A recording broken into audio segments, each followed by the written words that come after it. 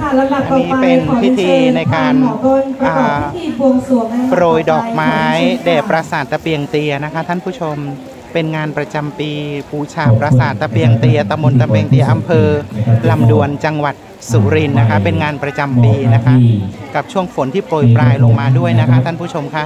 โหราปราบ ในนามวงการเรียกหมอต้นบุรีรัมย์ได้เริ่มประกอบพิธีกัน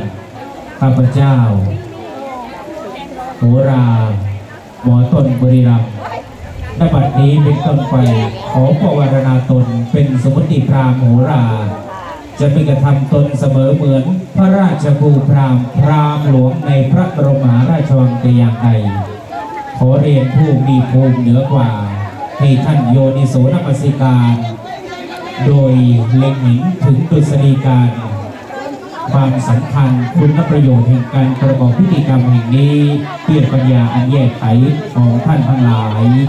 ณบัดนี้เป็นต้นไปข้าพเจ้าขอฉันทานุมัติ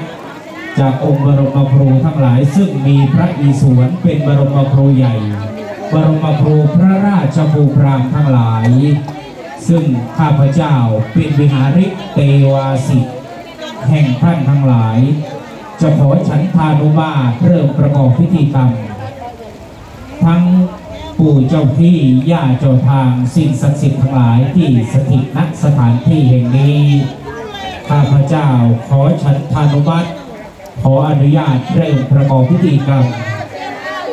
พระภูมิเจ้าที่ พระแม่ธรณีเจ้ากรุงพาลี